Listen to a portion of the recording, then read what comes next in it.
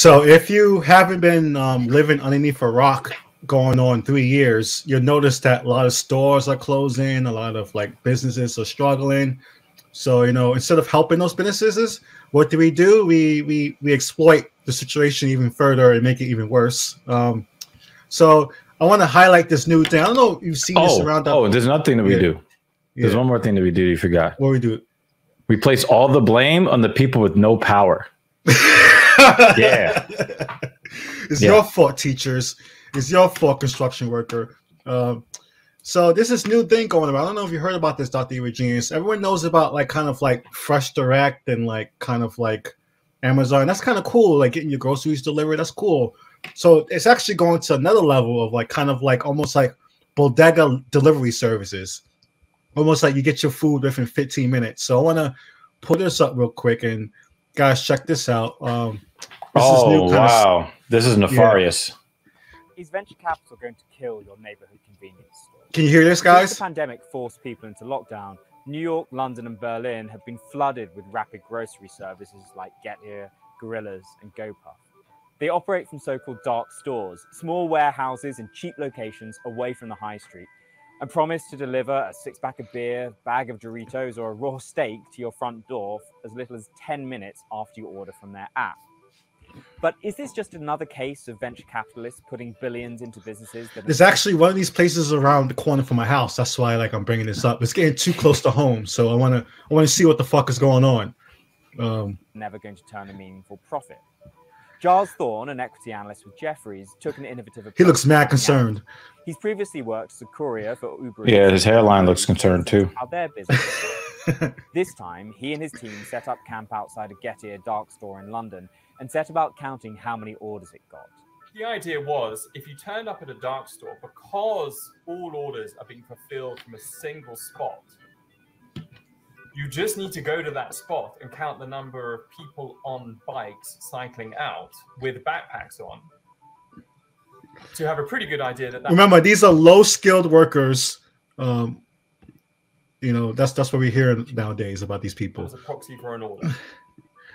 and if you spend enough time, if you spend a day, if you spend a week, you can actually build a pretty robust view of what the daily order count was. And Getir was getting a lot more orders than he expected. Just six months after opening, the store. Oh store yeah, they're trying to sell that shit super hard. Depending on the size of each order, each store could therefore conservatively be making between $4 million and $6 million a year in revenue, he estimates. That could be even more if basket sizes are bigger. We know from some of the commentary out of the private operators, the pure play dark store private operators, that basket sizes are comfortably north of 20 euros and trending towards 30 euros. That let him estimate that an established dark store can make an operating profit that represents between 5% and 10% of sales. That compares favorably with convenience stores, which typically enjoy a profit margin of between 2% and 4%. The model can be more profitable because it has some lower costs. It doesn't need premium real estate locations to attract the passing customer, so rent is cheaper. And each store can cover quite a wide area of around 11 square kilometers, so you need fewer locations. But setting up does require a lot of money, at least $1.4 million per store, according to Thorne. The last generation of rapid growth consumer investments were platforms, three sided marketplaces like. Wow, this guy is moving so fast, like his life depends on it. Someone offering a Oh hell no! He's, yeah, I saw that. In theory, it's a business model that doesn't require much investment because you're acting as little more than a catalyst. But in reality, the low barriers to entry have made competition tough. Deliveroo. Oh my god. If you're a dark grocery operator, you're really only competing for the customer. If you're Uber Eats or Deliveroo, you're competing on three fronts for the customer, Wait, wait, wait. Go back 15 seconds. couriers, all of whom might find a better deal with one of you. What happened? Does that say pimps and pinups? Oh shit! That's what I thought I saw, son. Look at that. Look, Yeah, look, it does. grocery op- your Uber Eats. Remember, he said that. Remember, he said that these these Look, these like look. these. It's right there for you. They're not even trying to hide it. Who's the pimp? for the customer. If you're Uber Eats or Deliveroo, you're competing on three fronts for the customer, for the best restaurants, and for couriers, all of whom might find a better deal with one of your rivals. The initial outlay for dark stores is higher, but once it's up and running, it should be more efficient. Firstly, these companies are burning money on marketing to attract new customers. That's fine for now. They've raised $3 billion from investors this year alone as venture capitalists determined that the See, I'm tired of seeing this shit because they say we raised three, four billion dollars. How much you paying people then? Are people seeing this thousands of dollars? Are people seeing this money? The people in the couriers, the, the fucking guy, you saw that footage of that guy running through the aisle, picking shit up to the refrigerator. Is he seeing any of this three billion dollars? Is he seeing that money? You know what's really crazy? That do you see how fast that guy was moving? Yeah. He's working harder than these people that that make all the profits. He works harder than they do. right? But he doesn't deserve any kind of compensation for how hard he works. And here and here's the thing, man. And you know, I'm sitting here watching this and I'm, I'm analyzing it. You know, I if you guys follow me on social media, I don't recommend that, you know, certain people with certain beliefs don't follow me at, at dr underscore evil underscore genius.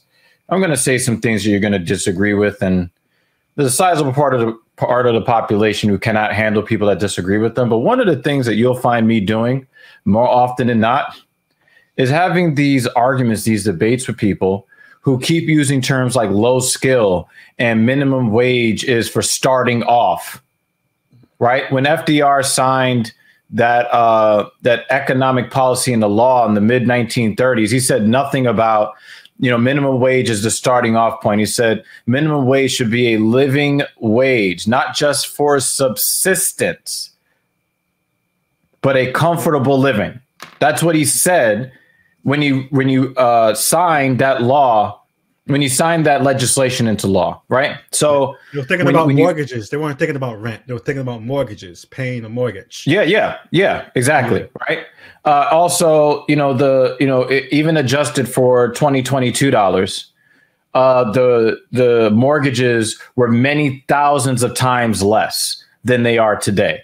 Okay, so when we're talking about a living wage, we're talking about something that should move with the different elements of inflation that hits the market. But when you when you talk to these people and they say well they don't deserve to be compensated because they're low skill and then it hits me right? Let's say you have your classical skilled worker. You have already heard the trope learn the code and all of that right? Yeah let's say you got a guy working in software right?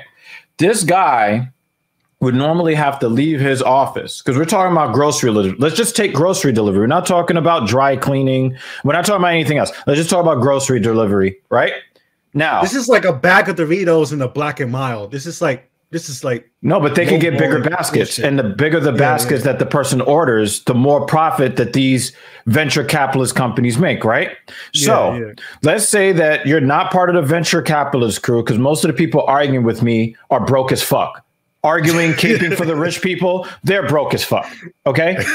now, when you look at their argument, it's like, okay, you want to say that the low skill worker doesn't deserve to be comp- uh, compensated, right? Okay. Well, let's take your classically skilled worker, right? That classically skilled worker does not have to leave his desk to get his food. He does not have to leave his home to do the things he would normally have to do. He would have to allocate time to make sure that he could clean his clothes and pick up his dry cleaning and clean his house and do all of these things. Now he's got apps to do all the things in life that he would normally have to do himself, freeing him up to make more money at their job. Now, this person did not gain any more skill but they're now making heaps more money because they have that convenience. Why the fuck do we have these arguments against paying the people that provide the convenience to that help you make a substantial more amount of money without you actually getting new skills? Because that's what it's supposed to be about, right? You're supposed to, well, if you're if you're uh, competent, then you get compensated. Well, you're getting compensated more, but you didn't up your competency you just offloaded your responsibilities off to other people, but they shouldn't be comp- compensated because of the skill level where your skill level didn't rise. And, and then think about it, and also think about even further about you know the idea that time is money. You know the fact that you have to work so much that you don't even have time to do shit for yourself. We hear that all the time, right? Time is yeah, money. What, time is money, yeah, right? Yeah, but what, what about what this motherfucker's say? time? Yeah. right? But but the thing is, you want this guy to get on a bike, right? From a homeless encampment somewhere. Because if we as we've already keep noting, four out of every ten employed people, uh, uh four out of every ten homeless people are employed. How do you expect this person to do this work that you refuse to do for yourself? if they don't have enough money to get back to work the next day. But that doesn't matter to you, right? As long as everything is super cheap. Well, this is what happens when everything is is is super cheap for you. Yeah. Right? You don't have uh you don't have a, a large group of people with buying power. So yeah. they buy less things. That means your company has a smaller customer base, which means eventually your profit margins are going to fall your revenue is going to fall because you have no customers because you believe that anybody with a job that pays anywhere near less than you than, than what you get that none of those people need to be compensated only people on your level and above because that's where you're looking you're looking above but fuck hmm. everybody at the bottom even though they are the reason you are where you are and, and, think about it, like the top. When you talk about people who make real money, not people just caping for people with real money. Those people actually have time to do stuff. They actually time to lay around and do things. The fact that you don't and have time, still have motherfuckers doing it for them. Yeah, the fact that, the, but you're doing it because you don't have the time. You don't have the time for that shit. So yeah. So people don't understand that. You know, rich people they have all the time in the world, and they still have people doing shit for them. You don't have the time because you have to work for the hours. You know, you have to work for those hours. You know. So yeah, it just shows you that the, the wages are not good. The wages are not good if that's happening for everybody across the spectrum. So except for the top top point zero zero one who could just hang out and fucking take pictures in bad t-shirts and stuff like that. Right, but the reason why we're not part of the zero point zero zero zero zero one percent is because we're lazy and we don't want to work. I mean, we're the most productive. We're the most productive Americans um, by uh, by any metric. We're the most productive Americans since the inception of the country. Uh, but we're lazy and don't want to work. That that's what it is. It's that. socialism. It's communism. It's free handouts. We want to get paid for your work. And think about that. The the people that were building planes and shit, the bomb Nazis and stuff like that, they had more time than we do. You know, you know, like you know, like what the fuck is up with that? You know, so pandemic induced lockdowns were accelerating e commerce trends. But it's clearly not sustainable for a city like London. Sounds like looting. A dozen different ultra fast delivery companies. At some We're profiting because of the pandemic. Sounds like looting. By their rivals. Finally, and perhaps most significantly, will the growth trend survive the lockdowns? When people are working from home, they can place dark store orders throughout the day. But if they return to the office and orders become concentrated in the evenings, the business case may not add up as readily. Besides, it's easier for commuters to pop into the corner store on their way home. I like how they show some lonely ass nigga ordering Chinese food. Uh, one of the things that one of the things that he's missing. Hold on. One of the things that he's missing. So so he's saying that you know when people go back to the office, it's just easy for them to pop into the corner store. No, he says it's easier. Yeah. But let me but let me pose this to you. You're in the office, right? You know that you have to stop at the store and pick up such and such items. But instead of doing that, while you're at work, you thumb through, you choose what you need, and have it delivered by the time you're ready to get off of work. That does sound easier to me than actually stopping because that's extra time. Because these yeah. motherfuckers don't sleep, right? Especially if you're yeah. talking about people in tech, right? They don't yeah. really have a lot of time. You get to shave off, you know, 15 to 30 minutes off of your going home routine by having the stuff delivered to the office before you ever leave. Or yeah, think, that shit is sitting outside your door of your apartment when you get there. But I did, but but I, when I walked past the, the weird 15 minute um, delivery place near my house, all, all delivery guys are kind of sitting around on their phones. So uh, we see. Yeah, waiting for the next order. yeah, they're, they're waiting like, for the next like, order. They're like this. They're like bored as shit. You know, like you know. Not getting paid. Yeah. Now they're at work, right? Yeah. but they're not being paid. Supermarkets and venture capitalists alike will continue to pile into the space, and the ensuing price war will mean it ceases to be an attractive business. It'll be good for the consumer, but your local bodega might find that its lunch is being eaten by someone else. This is Alex Webb for Bloomberg Quick Take in London. You know what's really that. funny? It's really funny because I just got into a debate with some with somebody, and yeah. he's crying about how these restaurants are failing and all these local businesses are failing because people keep asking for the minimum wage to rise. But what he's what he's what, what what he's not understanding is the reason why the restaurants are, are failing because it used having a restaurant, especially here in New York City, having a restaurant yeah. used to be something where if you had a cool food idea, you were going to make money.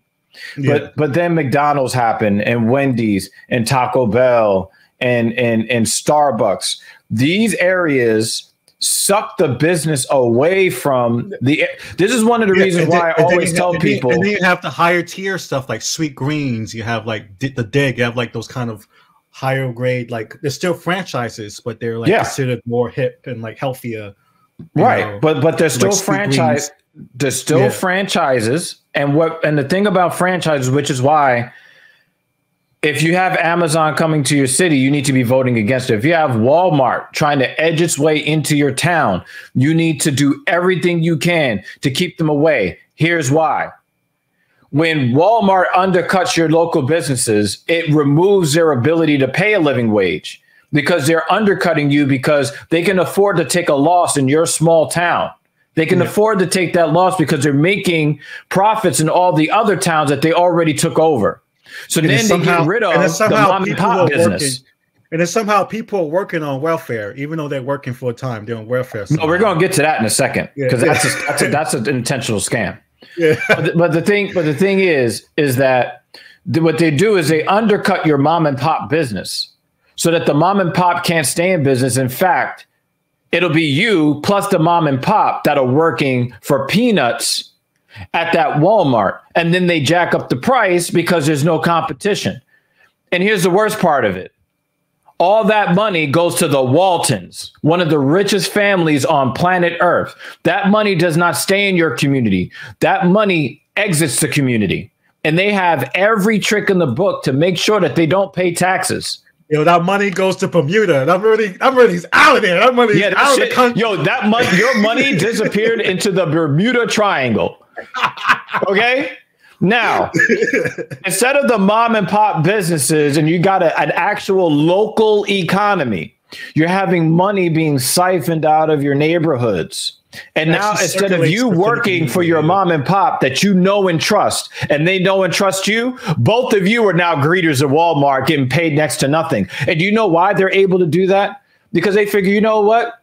We can we can actually get more profit, but our employees don't have to suffer completely because if we only pay them just enough, they can still qualify for public assistance. So the government is going to subsidize the wages, right? So the taxpayers are paying them to bring us our profit.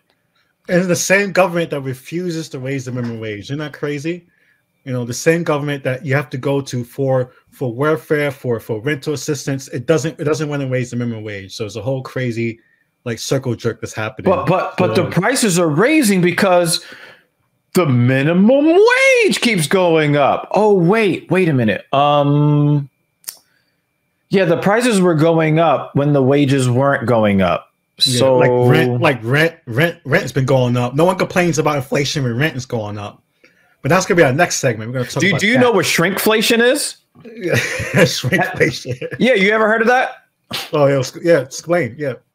All right. So so shrinkflation is a trick that uh, goods providers uh, play to raise prices without people actually seeing the number of the price go up. So, for yeah. example, when I was a kid, a half gallon of orange juice was a half a gallon. How much is a half a gallon? It's 64 ounces, right?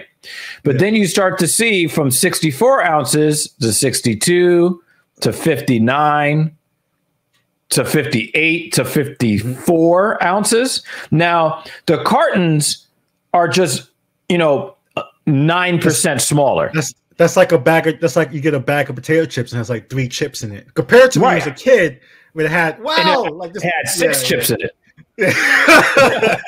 right, right. So what they do is they will lower the weight by content but keep the actual price the same so that the price per ounce goes up, but you may not realize that you're getting less in the package. I've seen people do comparisons of Toblerones. If you look at Toblerone from like That's 10, 15 years ago, right? Yeah, yeah. And you see the ridges that you in the Toblerone. So yeah. before it used to kind of be like, you know, you know, yeah.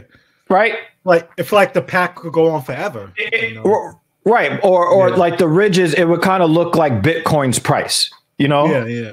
But now you got I don't know, like you get one peak and it comes down and then yeah. it stays down for a long time. And then the next one, and then it peaks, right? So the, the size of the packaging is the same. The total length of the chocolate looks about the same. But because they space out the, the, the parts that you break off, they are not putting as mu- they're not putting as much chocolate in the in the wrapper. Yeah. Right. So they're playing that, weird why, tricks with why, you that's but they're raising the price on you, but you don't that's know. Why gonna, that's why I got to end with the Kellogg. That's what made the Kellogg's thing so absurd. That's why those workers were tight. They're like, no way, no way you're gonna do that shit to us. We're gonna walk the fuck out and never come back. You know. Yeah. so, because we know what's we know what's up in Kellogg's. You know yep. those Rice Krispies way more, way more air in those Rice Krispies now than they were 20 years ago. So, yeah, uh, and, and, of course, you know they wanted to shrinkflate the. Uh, the the compensation for the people responsible for their record profits, but not only by quarter but also year over year. You pay your employees by taking their rights and, and their and their uh, their good working conditions away from them. You take their pension from them. You tell them that the next person that comes up behind them is going to be a third class citizen compared to them to create enmity and strife yeah. within your work environment so that you can break the union down, right? That's how you pay the people that have generated your your your your profits. And when the customers complain about how you're treating your employees, what do you do? On the box of Pop Tarts, you take the word Kellogg's off the packaging. like where these pop tarts come from. I don't know where the pop like oh, like we that stupid, yo. Yeah, like, we just wanted you to focus on the pop tarts. Yeah, nigga, we know why. We know why you want us to focus on the pop tarts because when you put your name on it, you know we're not going to buy it.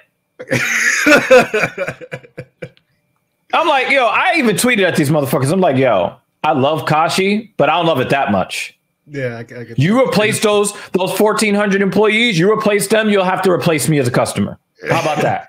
yeah, and that's what I think. That's what scared them. That's why they're like, okay, okay, we can be stingy motherfuckers. So th- that's some future stuff. So watch how out. Do you, how do you how do you repay your employees for all the money they made you by taking a dookie on them.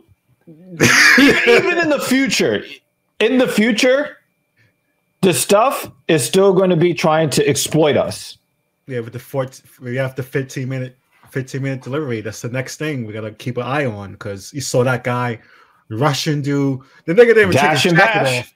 You saw that shit. He didn't even take his jacket off. He had his jacket on. Like, like yep. Yo, what yep. kind of what kind of job you got? You can't even take your jacket off. Yep. I mean, you want to talk about dash and bash. Did you see yeah. that low skill worker dashing at somebody else's convenience?